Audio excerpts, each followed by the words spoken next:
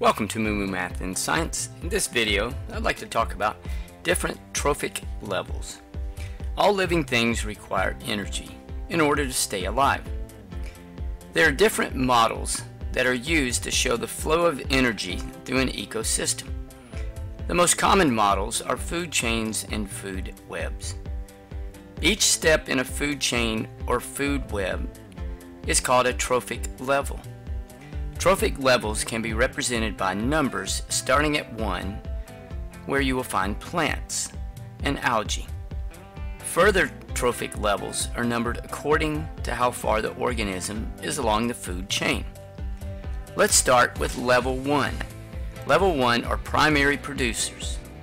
Examples include plants and algae, and they use photosynthesis in order to make their food. Level 2 are called primary consumers because they eat other producers. They are also classified as herbivores because they eat only plants. A cow is an example. Level 3 is made up of secondary consumers. They consume level 2 animals. Carnivores who are meat eaters and omnivores which eat both meat and plants, are found on level 3. Level 4 includes what is called the tertiary consumers.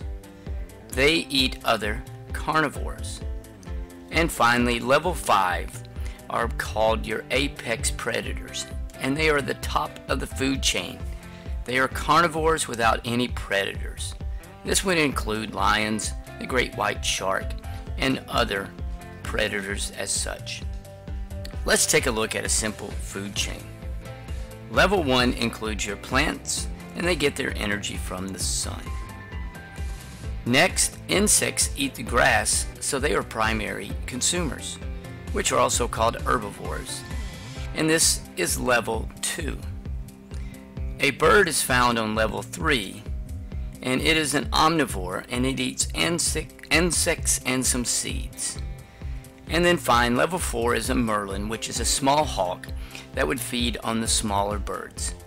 The merlin is a tertiary consumer and is a carnivore that feeds on songbirds. There is not a true apex predator in this food chain. Each time you move from one trophic level to another, only 10% of the energy is transferred to the next level. This is often referred to as the 10% rule. And this explains why, as you move up trophic levels, there are less individuals at each level.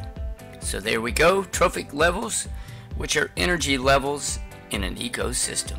Thanks for watching, and Moo Moo Math uploads a new math and science video every day. Please subscribe and share.